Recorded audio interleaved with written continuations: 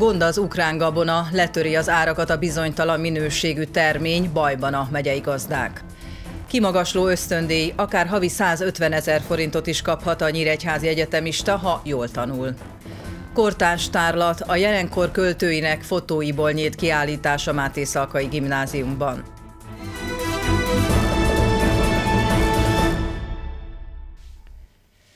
Komoly hátrány éri a Vármegye gazdáit az Ukrajnából ellenőrizetlenül behozott gabona miatt, amelyet áron alul értékesítenek ebben a térségben is. Az Agrárminisztérium folyamatosan tárgyal Brüsszellel, hogy megfékezze a keleti szomszédból beáramló gabonaimportot.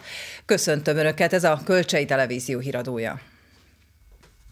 A háború sújtotta Ukrajnában ráadásul nem az Európai Unió növényvédelmi szabályai szerint állítják elő a takarmánynak valót, így félő, hogy az az állatok számára is ártalmas lehet.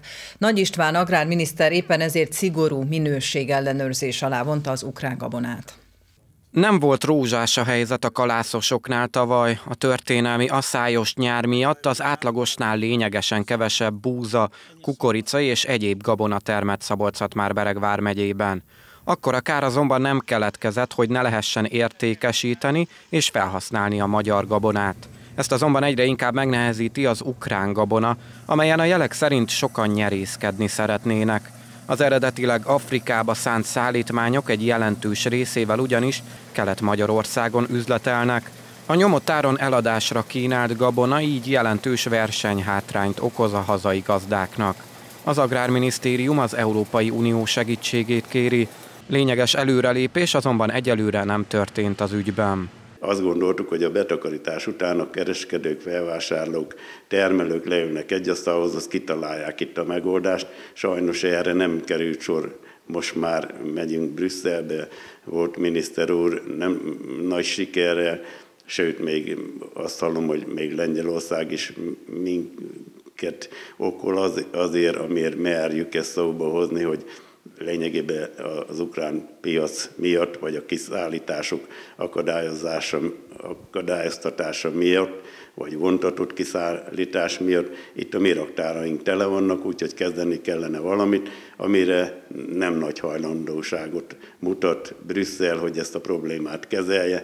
Ha ez ilyen lassan lesz kezelve, akkor még az is bekövetkezhet, hogy mire a búzát kell aratni, akkor ez a rossz minőségű kukorica lesz még a raktárban, nem lesz kiszállítva, úgyhogy eh, hát eh, nagyon eh, a közhangulat nagyon reményvesztett. Ráadásul közeledik a vetés ideje, a megyei gazdák egy része pedig nem tudja, lesz-e szükség a termésére, vagy tudják tárolni azt arra alkalmas helyen.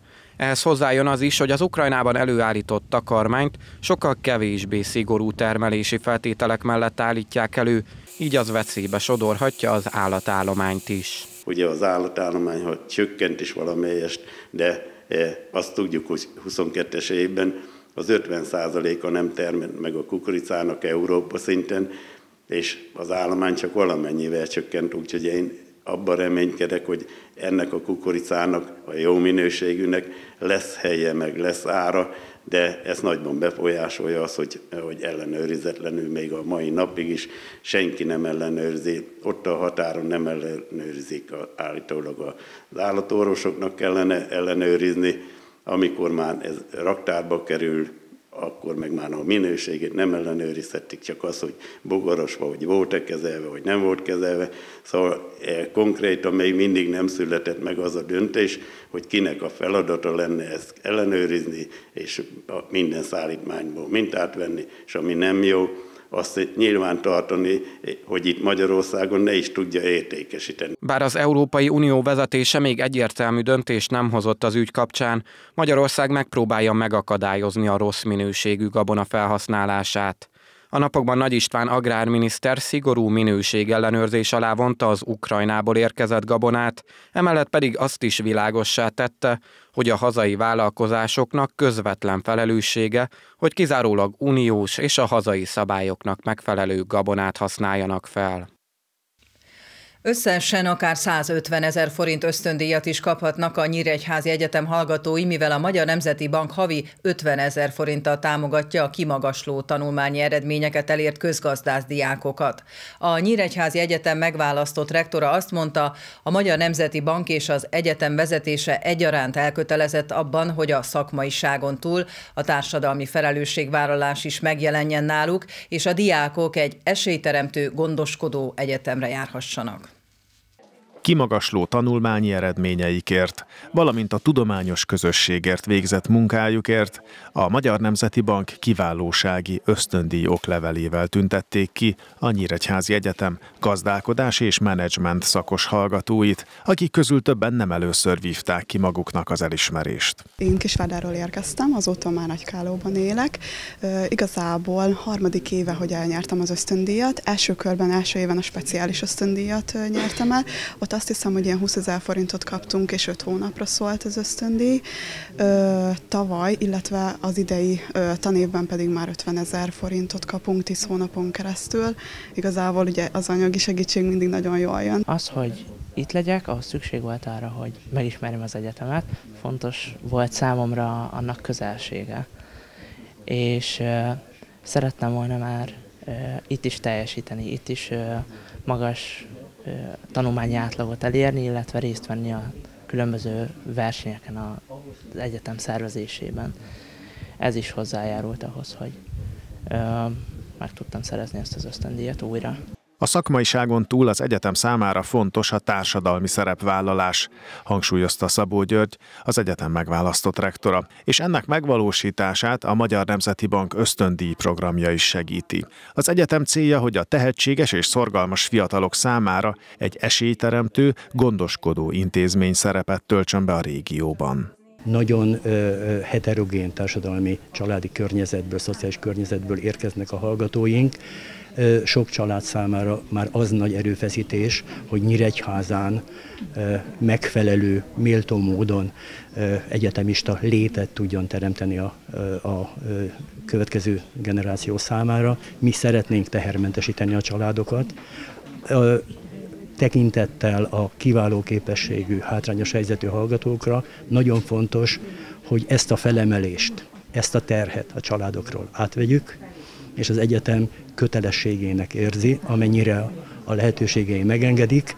Ez a modellváltás egy új gazdálkodási lehetőséget és rendet és pénzügyi forrásokat biztosított, de egyben kötelezettséget is, hogy a térség igényeit kell szolgálnunk. Tehát nem öncélúan hallgatók minden áron, minél több hallgatónk legyen, és haszontalan diplomák tömegét bocsássuk ki, hanem a térség munkaerőpiacára való tekintettel az itteni fejlődési lehetőségekre, az itteni lehetőségekre kell fókuszálnunk és megtalálni a forrásbevonás lehetőségeit, hogy olyan szakembereket tudjon képezni, akik itt a nagybetűs életbe kikerülve megállják a helyüket, és a térség felemelkedését tudják szolgálni. A Magyar Nemzeti Bank kiválósági ösztöndíj programja 10 hónapon keresztül havi 50 ezer forint támogatást jelent a legjobban teljesítő hallgatók számára, akik emellett más ösztöndíjakra is jogosultak. Alapvetően egy állami finanszírozott nappali tagozatos hallgató tanulmányai alapján részesülhet alapösztöndíjban, ami egy olyan 15-20 ezer forint körül, körüli összegben kerül meghatározásra évente.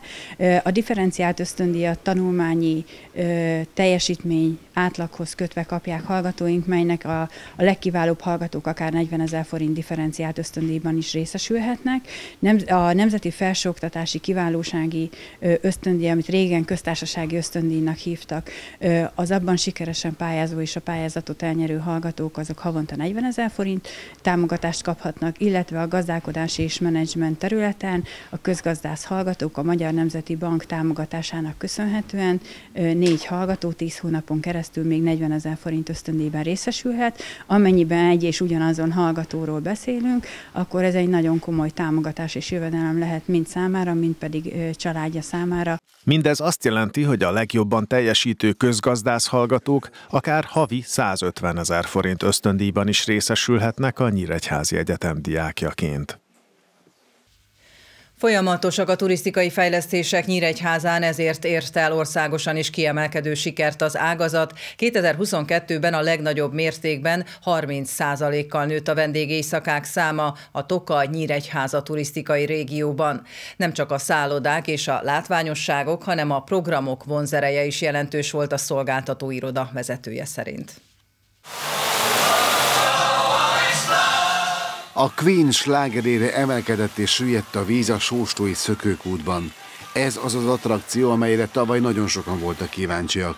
Ez a fejlesztés is hozzájárult ahhoz, hogy jelentősen emelkedett a turisták által eltöltött vendégészakák száma is 2022-ben. A Nyíregyházi Turisztikai Információs Központ vezetője azt mondta 35 perc című műsorunkban, hogy folyamatosak a fejlesztések a megye székhelyen. Itt folyamatosak a fejlesztések a, a kulturális negyedben, nagyon kiemelkedőt alkotott a, a Kálai ház, a Kálai gyűjtemény, hiszen a tavalyi évben a elnyert egy, egy külön díjat is az országos Múzeumi Szövetségnek a, a külön díját, és ugyanígy elmondható ez a többi attrakcióra is, hiszen az állatpark ünnepelte a 25. születésnapját, és ebben az évben harmadjára kapta meg az Európa legjobb állatkertje címet, vagy rekordszámú látogatót fogadott a, a múzeumfalu is, a folyamatos gazdag program kínálatának, a hagyományőrző rendezvényeinek az elismeréseként, és a, a fürdő is nagyon népszerű volt. A tavalyi évben most már nem csak a belföldi, hanem a külföldi vendégek körében is. Nagy vonzerőt jelentett a Nyíregyházi Állatpark is 2022-ben. Tavaly ismét Európa legjobb állatkertje lett az intézmény. A térség turisztikai sikeréhez nem csak a nagy attrakciók, hanem a kisebb kiegészítő programok is hozzájárultak. A meglévő attrakcióink mellett mindig nagyon fontosak a kiegészítő programok, és ebben a mi irodánk, a turisztikai iroda is egy nagyon fontos szerepet vállalt, különösen a, a, az elmúlt időszakban.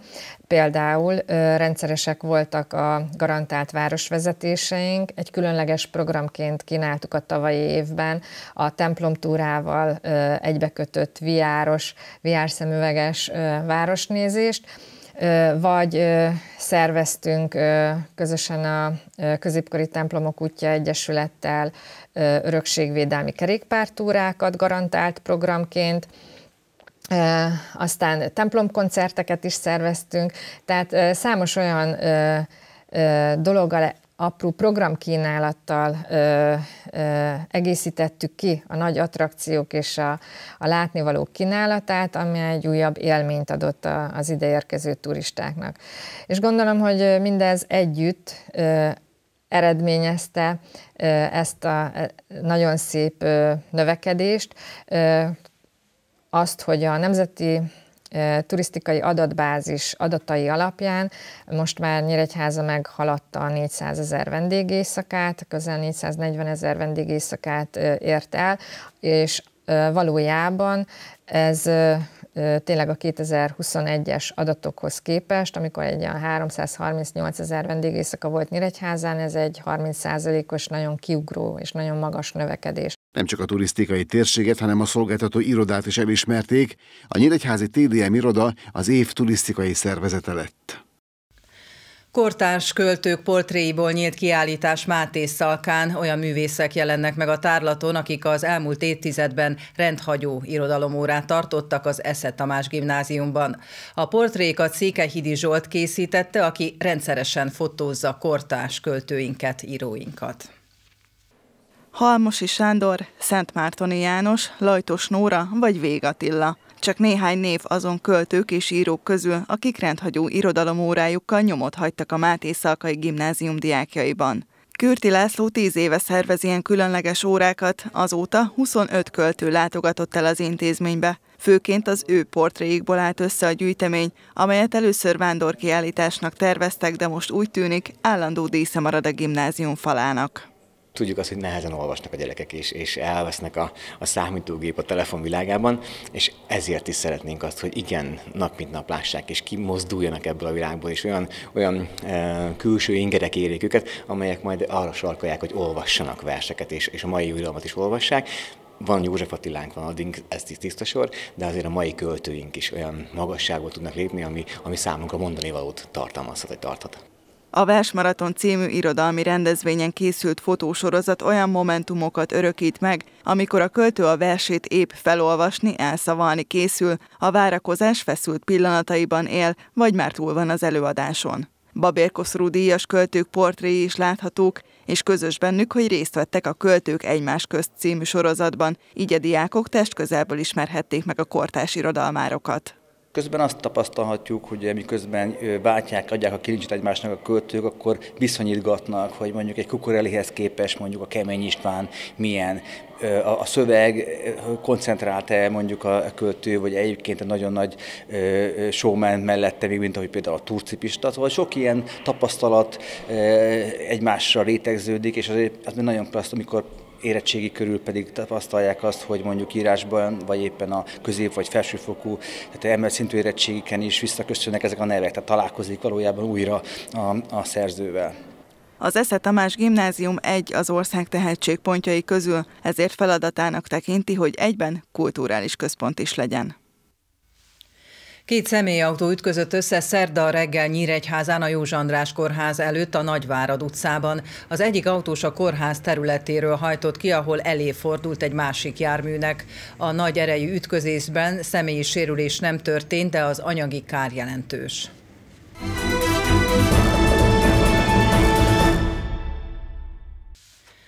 Öt nyíregyházi úszó áll rajtkőre a hétvégén a Stuttgarti téli úszófesztiválon. Urbin Tamás edző vezetésével Barna Bianca, Molnár Fruzsina, Fekete Vivien, Lénárt Eszter és Csernyik Dániel csütörtökön utazik el Németországba. Két héttel később, február 25-én már hazai környezetben a negyedik NSC kupán szállnak medencébe a sportcentrum versenyzői.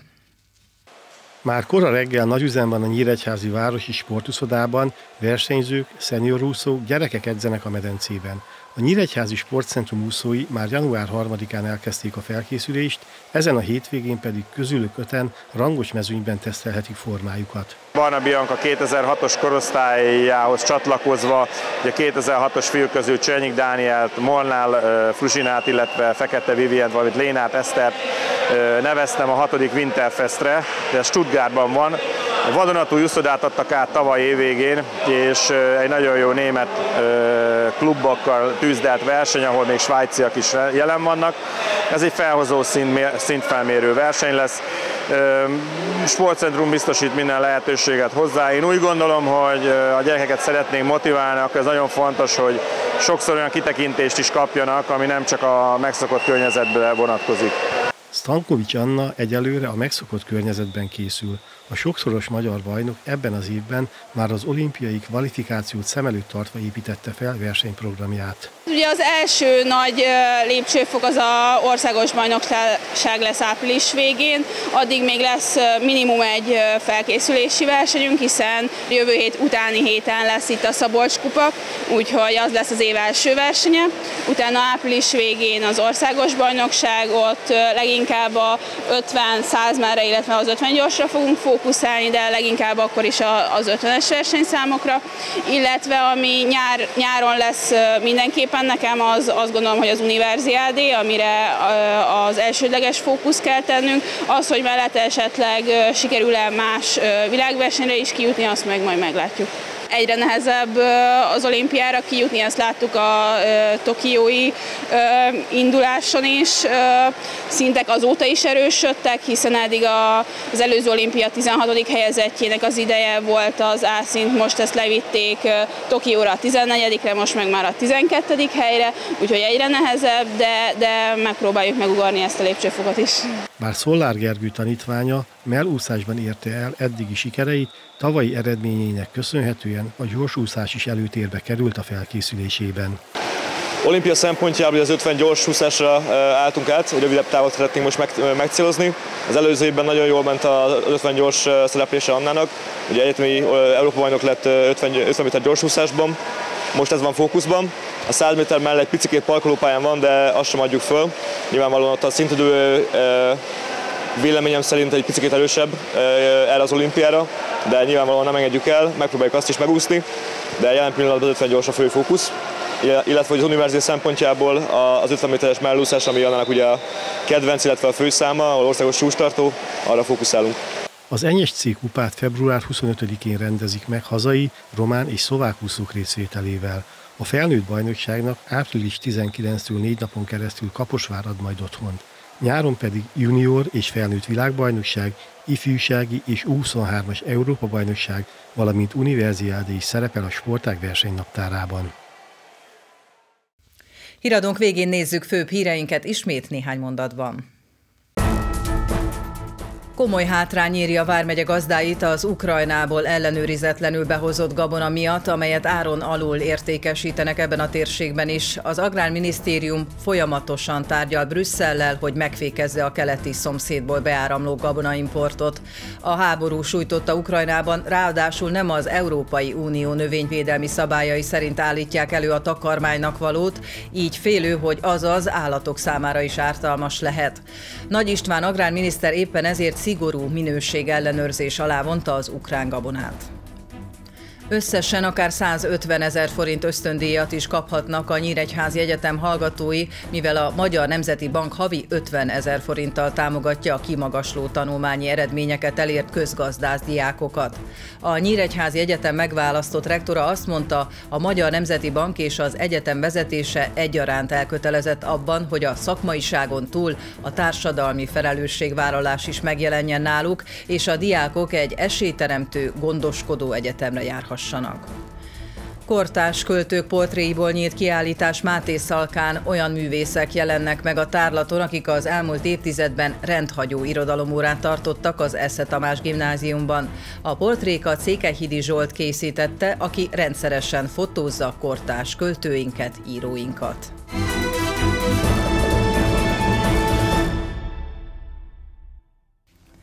Február 8-án szerdán a Kölcsei Televízió híradóját látták, csütörtökön este ismét várjuk majd Önöket a megye legfontosabb történéseivel. Nézzenek minket akkor is, viszontlátásra!